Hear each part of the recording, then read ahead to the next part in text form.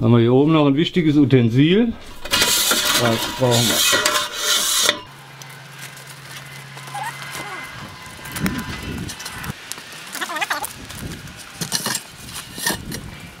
Lea, wo bist du hin? Einmal um den Wohnwagen gehen. Wir hören im Moment Radio ohne Stromanschluss. Das Ganze läuft autark und wie das funktioniert, zeige ich euch, wenn wir auf dem Festival sind. Und damit sind wir auch schon beim wichtigsten Teil von diesem Video angekommen. Es geht also um das Thema Wohnwagen autark umbauen. Grundsätzlich ist es ja so, wenn ich hier so einen Wohnwagen mir gebraucht kaufe, dann ist dieser nicht dafür ausgelegt, irgendwo autark unterwegs zu sein. In der Regel komme ich auf dem Campingplatz an, habe meinen 220 Volt Stromanschluss, stecke den hinten in die Dose ein und dann läuft mein System hier. In dem Fall, wenn ich auf einem Festival bin, ist das nicht so. Hier muss ich dann schauen, wie ich mit Aggregaten oder Solar irgendwie weiterkomme. Das Thema Aggregat auf dem Festival ist schon immer ein Thema, was nicht gern gesehen ist, weil sie doch eine gewisse Geräuschkulisse äh, hinterlassen und das Ganze schon nervt, wenn der Nachbar über Nacht wieder sein Aggregat durchlaufen lassen hat. Somit sind wir ja heute zum Glück einen Schritt weiter und das Thema war ja auch, oder im Titel von dem Video steht autark für 250 Euro. 250 Euro deshalb, das Ganze geht also schon mal hier mit diesem Ding hier los. So, jetzt kommen wir hier zu unserem Herzstück, um fünf Tage autark zu sein. Das ist unsere mobile Solaranlage. 80 Watt Leistung, alle Anschlüsse integriert. Einfach nur aufstellen dann schließen wir das hier an unserer Stromversorgung. Einmal Minus. Halt ruhig mal drauf. Ne? Einmal Plus. Ja, hier oben können wir sogar direkt 12 Volt abzapfen. Falls wir hier den Wasserkanister umpumpen wollen, habe ich hier direkt meine 12 Volt Strom.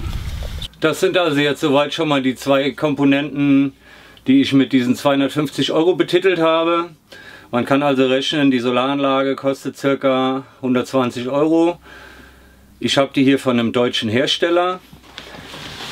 Ähm, das war ein fertiges Modul. Schauen wir uns noch mal im Detail an. Hier kann man also schön die zwei Anschlüsse sehen von dem Solarpanel selbst. Das Ganze ist schon verkabelt. Und dann haben wir hier in der Mitte den Laderegler, der uns davor bewahrt, dass die Batterie sich überlädt oder anfängt zu kochen. Und dann haben wir hier noch gut zwei Meter Kabel dran mit unseren zwei Klemmen. An sich denke ich top vorbereitet. Und das ganze Teil hier ist aus Aluminium gefertigt mit einem gewissen Aufsteller, den ich mir hier so ausklappen kann. Das Ganze steht jetzt auf dem Kopf und dann stelle ich mir das so in die Sonne, dass es mir am meisten Leistung bringt. Wenn ich jetzt nicht versuche mit diesem Gerät hier zu kühlen, dafür wird der Strom nicht ausreichen, ist das absolut ausreichend für fünf Tage auf so einem Wochenende klarzukommen. Und wo ich hier völlig begeistert bin, ist einfach, dass das Ganze eine Tasche hat und ich das somit einfach geschützt transportieren kann. Das ist also jetzt für mich auch eine mobile Lösung, auch ganz bewusst eine mobile Lösung. Es ging mir nicht darum, hier ein perfektes, dauerbewohnbares Tiny House draus zu machen oder sowas in der Art, sondern ich möchte das Ganze schon mobil belassen, um dann auch die Möglichkeit zu haben, wenn ich mal nur mit dem Bus unterwegs bin, ohne Wohnwagen, dass ich dieses Equipment einfach tauschen kann und nehme das mit in, den, in mein nächstes Gefährt quasi und muss hier nichts abschrauben oder habe irgendwelche Löcher hinterlassen, wenn ich den Wohnwagen mal verkaufe oder sonstiges. Die übrig gebliebenen 130 Euro sind dann für die Autobatterie sowie die erste kleine 12 Volt Steckdose, die ich mir hier installieren kann. Und ab diesem Teil bin ich ja eigentlich mit jedem Zubehör, was man aus dem Autobereich kennt, her auf der sicheren Seite. Dann kommen wir mal dazu, wie das hier im Wohnwagen weitergeht.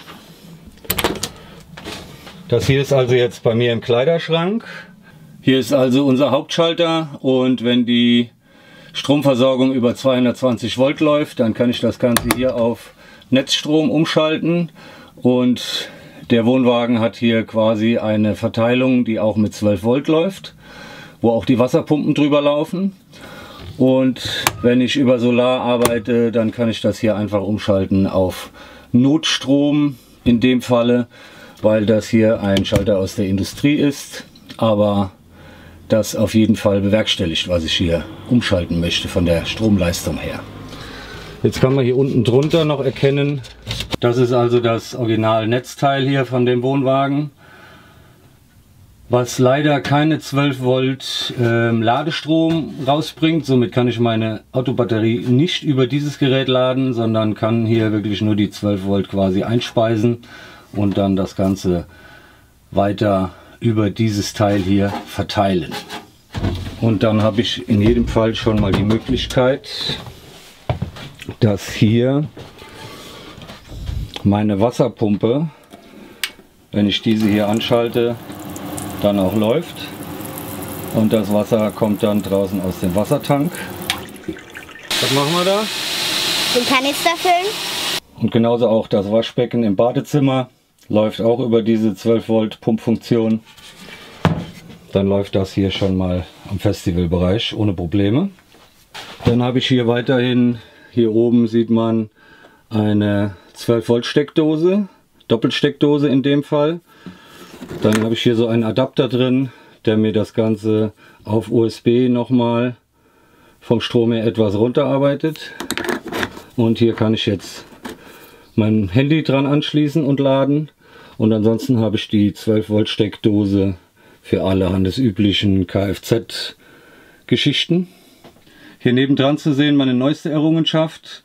Ein Autoradio, was gleichzeitig direkt vorne die Lautsprecher mit eingebaut hat. Grundsätzlich eigentlich gar kein Problem, sowas zu montieren. Also Beschreibung lesen hat sich erledigt. Wer hiermit klarkommt, kann mir das gerne in die Kommentare schreiben. Zu. So, entweder macht es jetzt Bumm oder das Ding geht.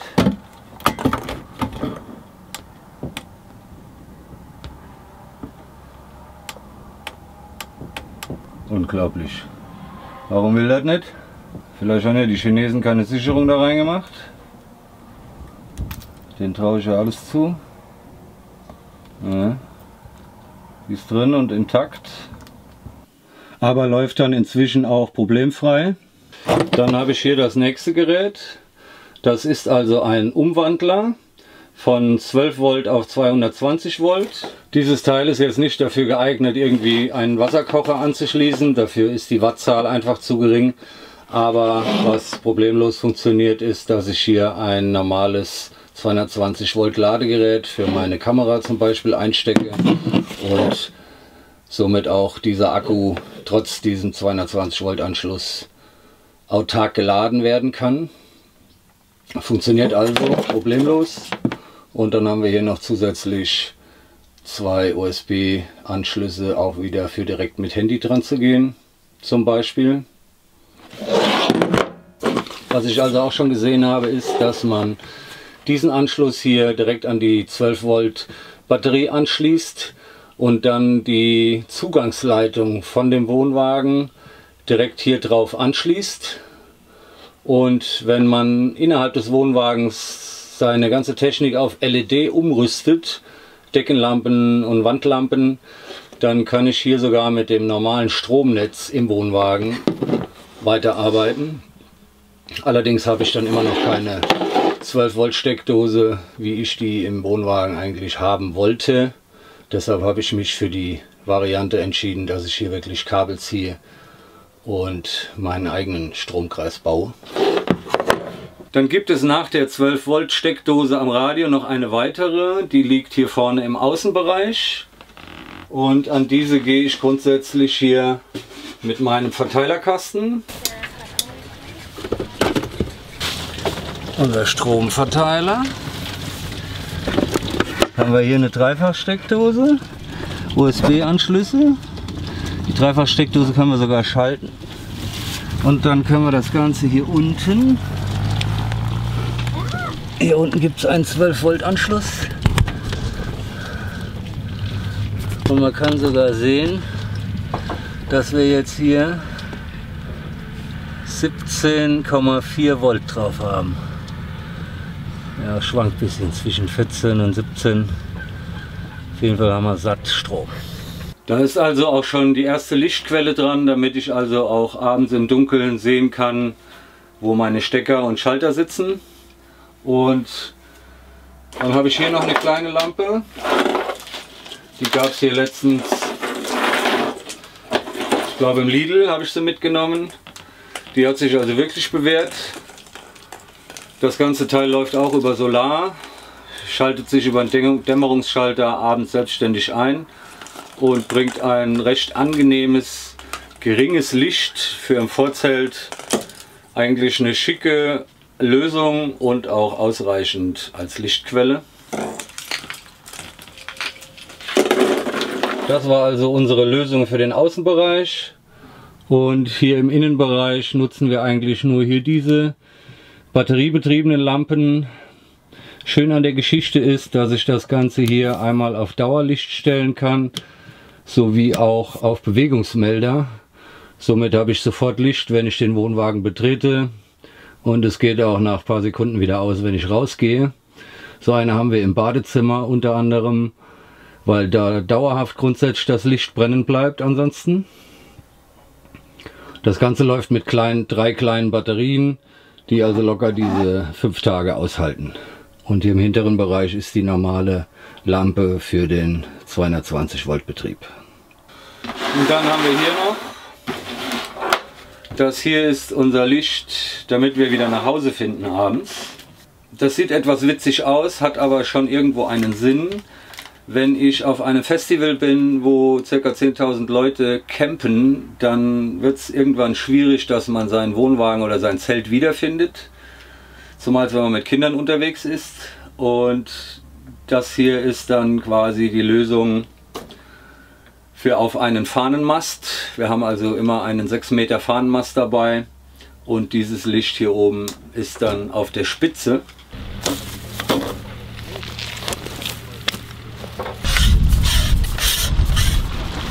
gute Vorwerk-Staubsaugerkabel.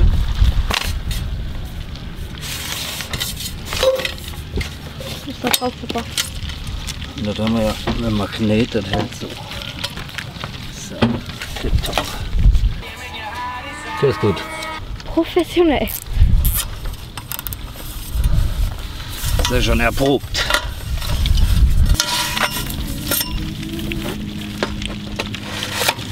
So. Jetzt machen wir die erstmal fest.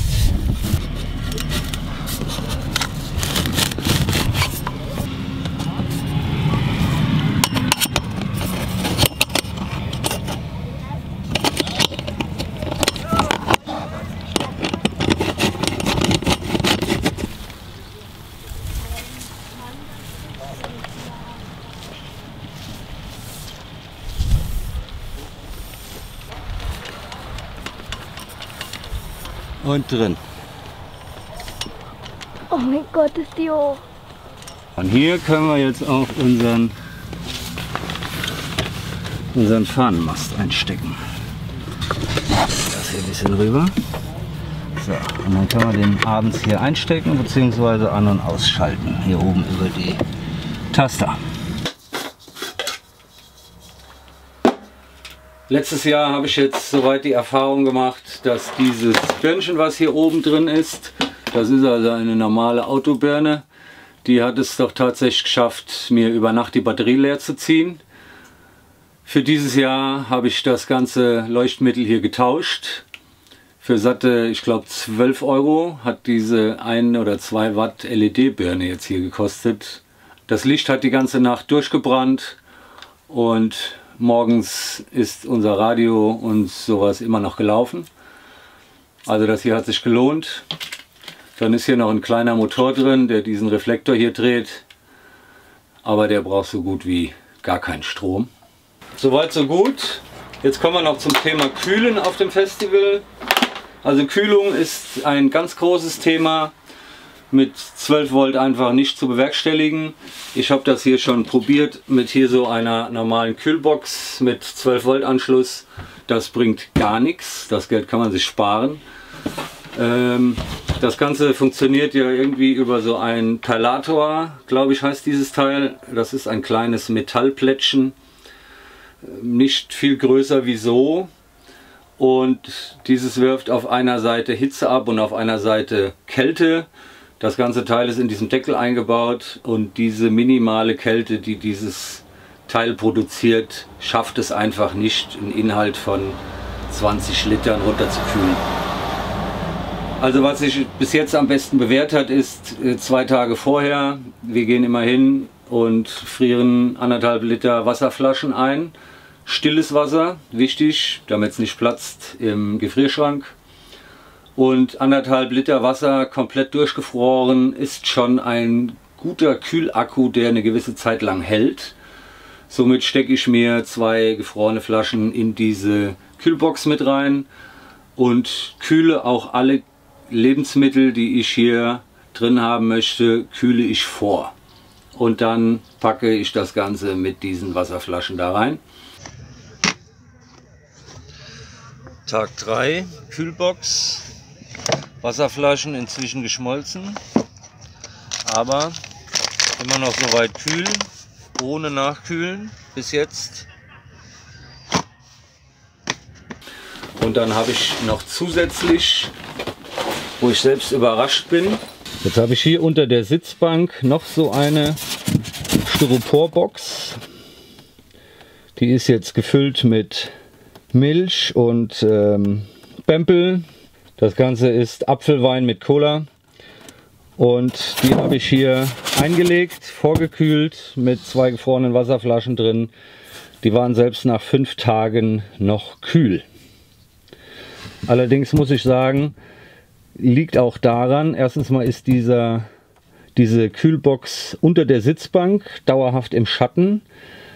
Das macht schon mal viel aus und sie wird nicht oft geöffnet. Die sieht etwas schmutzig aus, weil wir die auf einem Festival auch mal gefunden haben. Das war bis jetzt die einzigste Box, die hier unter diese Sitzbank drunter gepasst hat. Wem das alles nicht reicht, es gibt mittlerweile im Handel auch Kühlboxen für 12 Volt Systeme, die mit Kompressor laufen. Die kühlen schon gut runter. Am Wochenende auch mit jemandem gesprochen, der also sagt, wenn ich da morgens 4-5 Bier reinstelle, dann sind die abends kalt. Allerdings diese Kühlboxen mit Kompressoraggregat dran, da geht es dann los bei 300 Euro und nach oben ist da keine Grenze.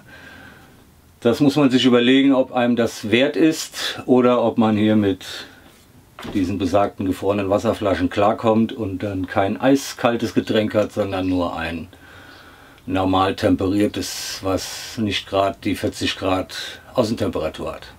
Jetzt kommen wir nochmal zu der 12 Volt Steckdose, die vorne im Bug direkt bei der Batterie sitzt. So. Hm. Was sich also absolut bewährt hat, ist hier unsere Außenregendusche. Haben wir hier einmal 12 Volt Anschluss und einmal die Pumpe. Einmal 12 Volt hier rein und dann einmal unsere Pumpe in den Kanister.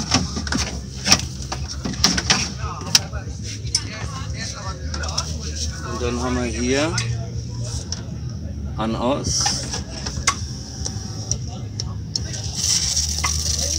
Und einmal Durchflussmengenregler sogar noch. Und schon läuft das Ding.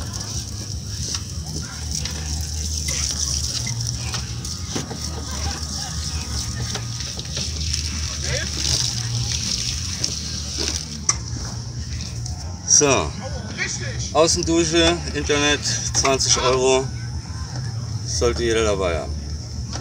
Dann kommen wir mal zum Thema Kaffee kochen. Also Kaffee kochen im Wohnwagen. Mein absoluter Favorit ist hier so eine Espresso-Maschine. Kennt wahrscheinlich jeder. Der Kaffee kommt hier rein. Unten drunter kommt das Wasser und das Ganze wird erhitzt. Der Kaffee kocht durch, durch das Pulver quasi nach oben durch und sammelt sich hier in der Kanne.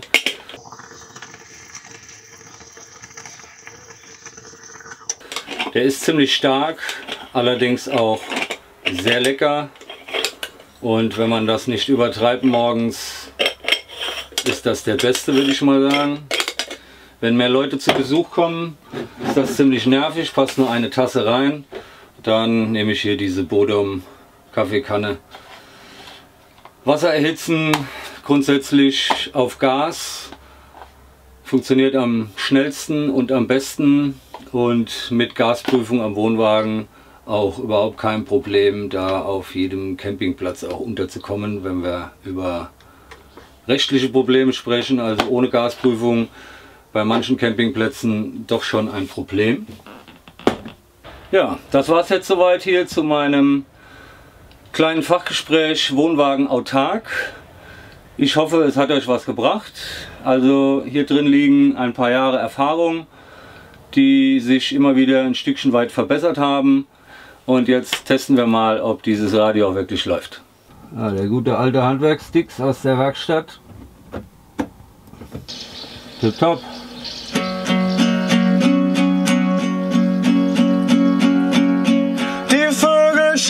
Scheißen vom Himmel und ich schau dabei zu. Also ich denke mal, laut GEMA gehen nicht mehr wie 10 Sekunden. Haha. ja, kommt ja genug Power raus. Läuft. Radio hält. Gut. Dann höre ich mal ohne euch weiter. Und tschüss.